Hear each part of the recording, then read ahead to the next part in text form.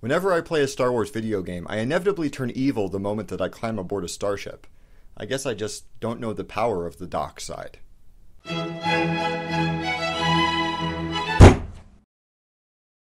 Video games have progressed a phenomenal amount in the past few years, to the point that they're actually being taken seriously as a medium for legitimate storytelling. However, they've still got kind of a bad rap for being unsophisticated or puerile, and unfortunately, it's not really hard to see why. For every complex piece of interactive fiction with characters that you care about and a plot that grabs your spleen and squeezes, there are at least 10 video games where you play a guy who runs around and shoots things.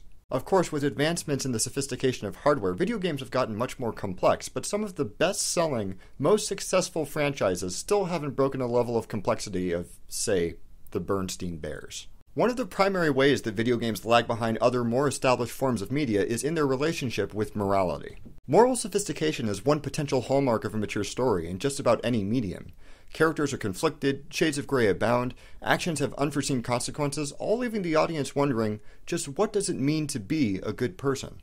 Intuitively, you might expect an interactive medium like video games, where the audience actually helps to build the narrative, to excel at telling stories that investigate the meaning of choice, and some of them have. The very first game with a real implementation of a moral choice system was Dungeons and Dragons, first published in 1974. No computers yet, just dice, tables, and imagination. D&D developed a two-axis system where your character selected from one of nine possible alignments, ranging from lawful to chaotic and good to evil. Choosing one of those moral alignments was just as important as whether you picked a wizard or a fighter, because failing to adhere to your chosen alignment carried harsh penalties. Like if you were playing a lawful character and decided that they should bend the rules, even just once, they could be set back months of experience and lose crucial abilities. However, the D&D alignment system actually served a distinct purpose in gameplay.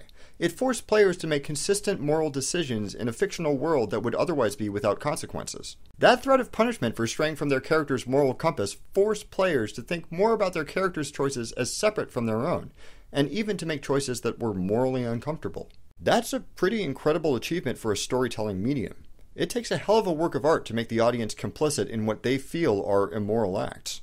Regardless, many people felt that D&D's alignment system was overly simplistic in its dichotomies and categories. And then video games happened. And with them, the karma meter, a mechanic that seems specifically engineered to squish complexity in storytelling. All of these games heavily feature morality systems that basically boil down to getting good points or getting evil points. Also, in order to ensure that players won't mistake their options for each, video games with karma meters tend to have binary moral decisions at wildly unrealistic ends of the spectrum. A singular decision to either adopt an orphan or eat them isn't really a mature exploration of morality. To add insult to injury, many video games will hold additional content hostage, like extra abilities, missions, or cutscenes, unless you go all in as either a saint or a sadist. So, video games have a lot of problems in trying to mandate moral decisions in a way that isn't ham handed. Some of them manage it, but it's generally considered to be a pretty rare thing. However, there is something about them that gives them a very interesting and important moral aspect that has very little to do with what the developers and writers intended. The act of playing a video game carries an inherent moral conundrum that's pretty much unique among other media. When I pick up a controller, I am choosing to participate in something, not just to consume it.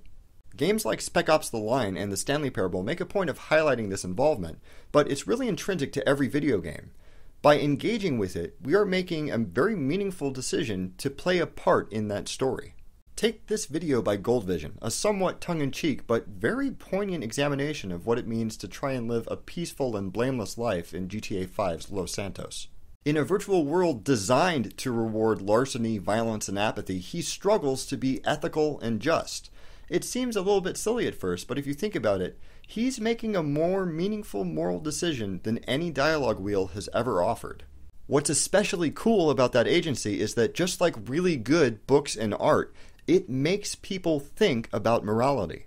Check out this paper published recently by Matthew Grizzard et al. at the State University of New York. After sitting a group of test subjects down in front of a video game where immoral behavior was part of gameplay, those people became more sensitive to morality in real life even more so than those who were told parables of guilt and woe. The very best art aspires to engage audiences on that level, something that video games, even really crappy video games, necessitate by default. That's something to be respected and admired.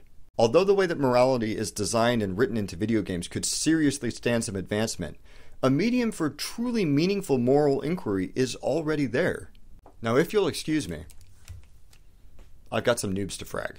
Have you experienced a moment in video games that made you question your own morality? Please leave a comment and let me know what you think. Thank you very much for watching. Don't forget to blah blah subscribe blah share, and I'll see you next week.